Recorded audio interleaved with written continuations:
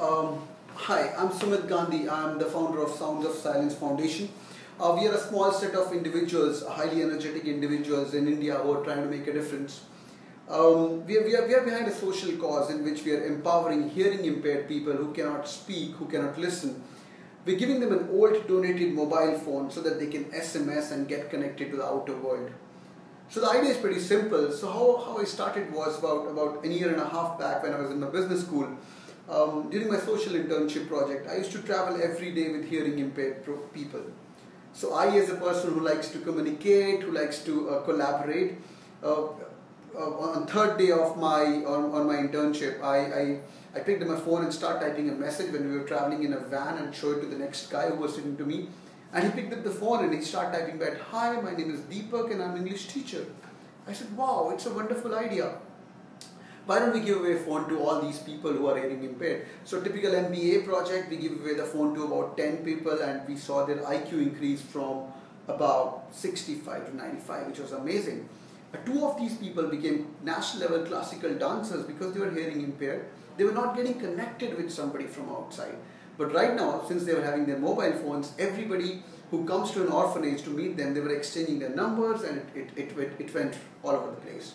So right now, uh, past about year and a half, we are doing it full-fledged and we are in four top cities in Mumbai. The best thing is we are a part of the curriculum of nine best hearing impaired schools in India. Every Wednesday morning, three hours, the first class goes to SOS or Sounds of Silence. We have empowered about 550 odd kids across these different cities.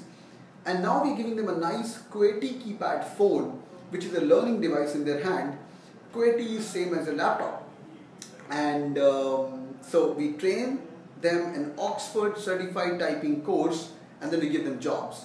So from enabling them to starting to communicate with the outer world, we're giving them jobs in companies like Priceline.com, Kayak.com, there are Indian versions of that like MakeMyTrip.com, so that they can get they can work on the chat button. If you see there's a chat button at the top, these people are hearing impaired. They're not they're not mentally disabled, so they can definitely get chat jobs.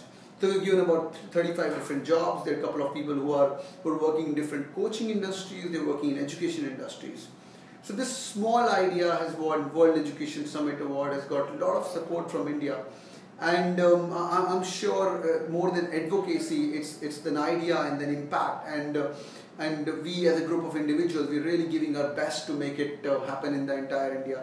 I wish one day, whenever whenever any hearing impaired kid is born in any of the state or any of the any of the uh, any of the homes, the mother along with a, a bottle of milk should definitely think about a phone and give it away to this kid so that he, he can start SMSing rather than being dependent on just sign language. So that's what that's what I have today. Thank you so much.